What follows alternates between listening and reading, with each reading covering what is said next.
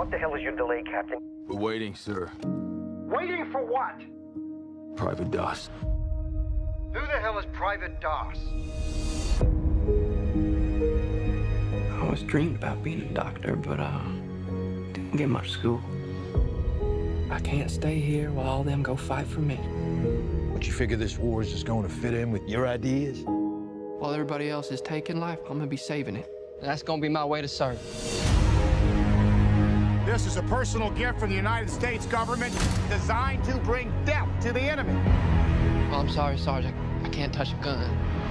You don't kill. No, sir. You know, quite a bit of killing does occur in war. Private Doss does not believe in violence. Do not look to him to save you on the battlefield.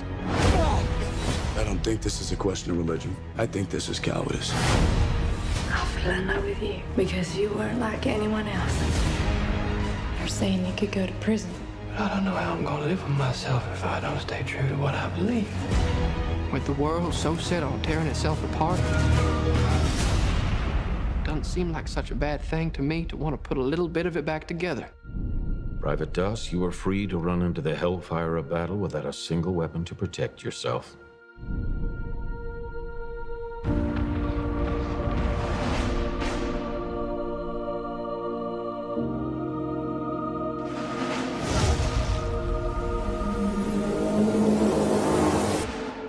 Get you home. There's something you gotta see. Who did this? That's the card. We have to go back up tomorrow. And they're not gonna go up there without you.